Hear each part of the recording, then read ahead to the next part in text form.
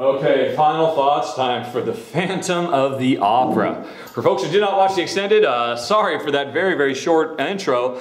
Um, but you know, hey, that's the way it can go. Um, this game is, is definitely mentally challenging. It's one of the great things about it. It's a very wonderful, fun cat and mouse um, duel between two players.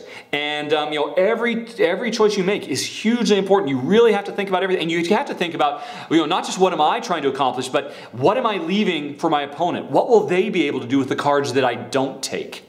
And clearly, that's why I lost so fast because I didn't give that a second thought. If I had thought about it for even just like 30 seconds, I would have realized, oh my God, look what I'm about to do. I should do this other thing instead because then I could have at least um, in that first round have eliminated two suspects, and then I might have had a fighting chance. But as it was, I never was going to be able to come back from that. Oh my gosh. But you know, and you know, I mean, for some people that might be a problem because this game is is so so interesting and so different. It really requires you to think through stuff. But what's really nice about this game is it comes, and I demonstrated this in the extended play, it, it, this is actually one of the reasons I like this game, or Jen I like this game so much more than Mr. Jack. There's several reasons, I'll go through them all. Why this game is a Mr. Jack killer for us. First one, it has a built-in handicap system. Uh, because this game can be very, very daunting for newbies. So much to think about, so easy to make a mistake, as I demonstrated. Um, the game comes with a built-in handicap. You remember at the beginning, when the game first started, oopsie, uh, the opera lady was right here. I don't know if you can see it. Um, there we go. Right here in the middle of her fear track.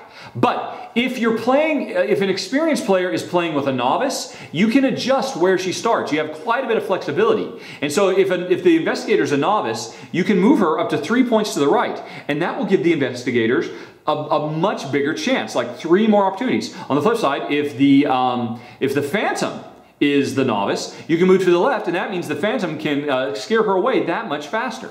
So this is a brilliant, very simple, very easy to use, and very intuitive um, little handicap thing that works great. Absolutely love it. So brilliant and so necessary for a game like this because you know an experienced player will always wipe the floor, and um, you know with, with a novice. So having that means everybody can have a good time in this very fast-playing 30-minute game.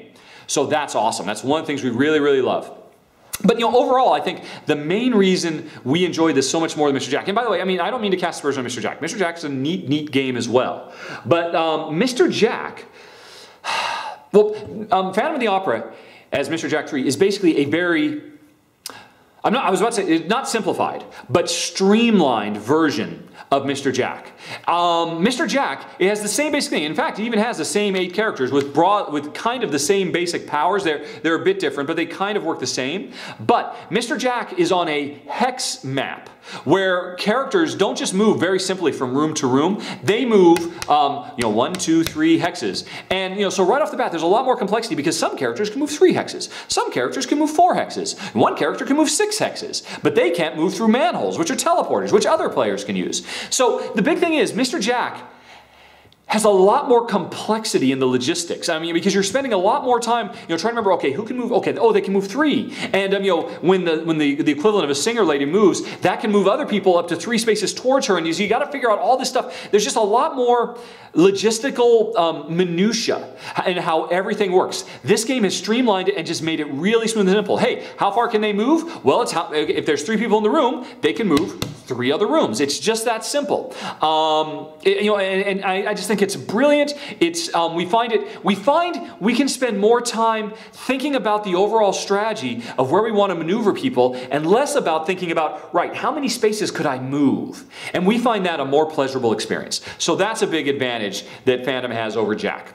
Next one. Well, I already talked about the what do you call it, the, the handicap. That's a big, big deal. Next one, Mr. Jack, in its default mode, or you know, in its shipping mode, always starts out the exact same way. Every single suspect is on the exact same place of the board. The game always starts off in the exact same situation. And honestly, I mean, there's nothing wrong with that. I mean, that's how chess starts out. Sure, that's fine. Jen and I prefer a game, we always prefer a game where there's some random variability to the setup. And this game, the setup is brilliant. You just take the characters and you just randomly put each one in a room, and that's it. And the game is balanced and designed so you can have a good, solid game that way. Mr. Jack, you can't do that. Mr. Jack, you have to put everybody in the right place so everything is nice and balanced starting out. Now, ultimately, there was a variant that was de developed by the, by the designers, I believe, for Mr. Jack that would allow you to have a random setup, but it was a complicated one and it wasn't nice and smooth and simple like this one is, and um, or elegant, I should say.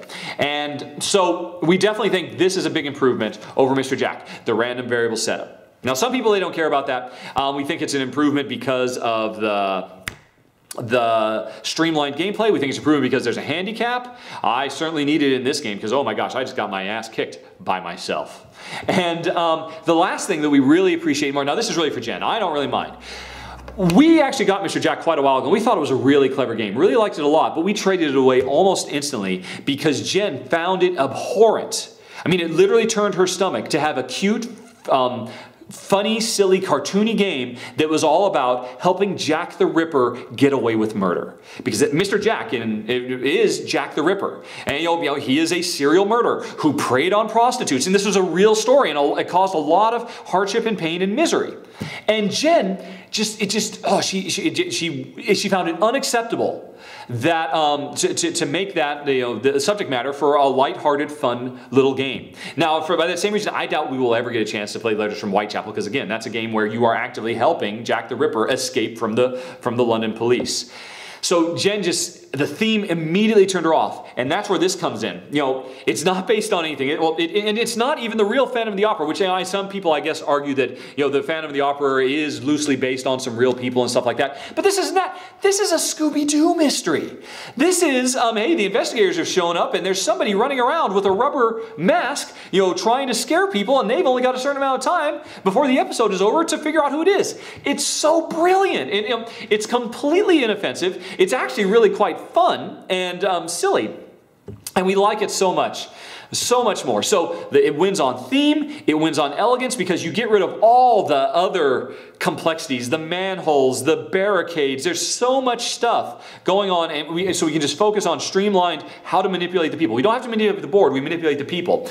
And um, you know, the handicap, just overall makes this a much, much better game. Now, I could, I can imagine there are probably plenty of people out, obviously uh, a lot of people, heck, maybe most people aren't really bothered by the theme of Mr. Jack. Fair enough, you know. For Jen, too soon. For other people, maybe not. So maybe that's not a big issue. And for a lot of people, I can imagine they prefer Mr. Jack both one because of the chess like hey it's always the same every time. And part two hey yeah there's no handicaps. This is a game that's all about a battle of wits. If my wits are better than yours i should win. No handicaps. And three um, i like the complexity. I like i mean because um, um, the whole crux this game has the timer that's counting down right? Mr jack it, there's no timer. Instead Basically, what's happening is the Mr. Jack player is trying to get the, the, the Jack the Ripper to leave the board. There's exits off of the board. And, you know, they have to maneuver and try to get that person off the board. And, I mean, instead of just play a stalling game, which is what you do when you're, when you're the Phantom in this game.